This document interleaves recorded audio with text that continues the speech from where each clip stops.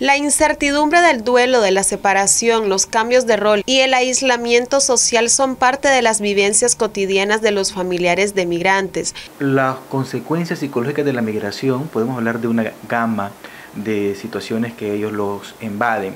Número uno, la parte familiar.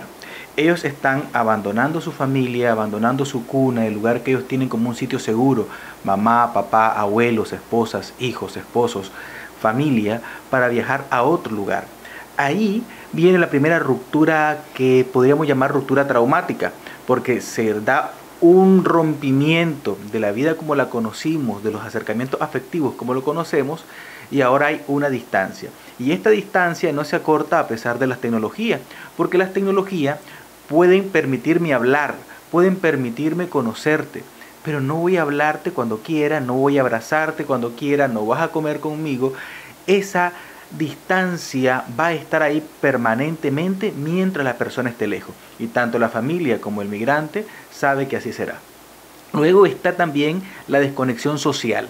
Cuando hablamos de desconexión social, ellos abandonan amistades, lugares de, donde frecuentaban, abandonan espacios de conversación.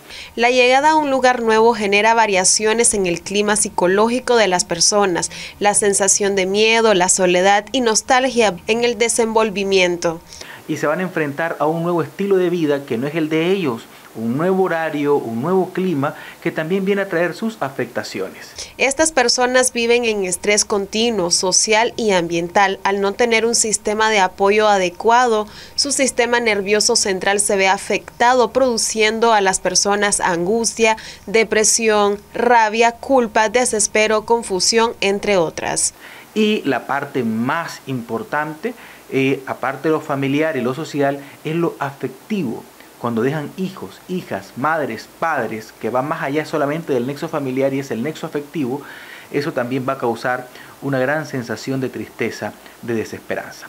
Cuando esta situación de migración es eh, sin tiempo previsto, es decir, me voy y no sé cuándo voy a volver, o me voy y no sé si voy a volver, o me voy a un lugar donde vos no vas a tener acceso porque muchos de nuestros nicaragüenses se fueron, por ejemplo, migrando por, de manera irregular y ellos no saben cuándo les van a dar sus permisos de viaje y la familia no va a tener acceso a viajar a verlos.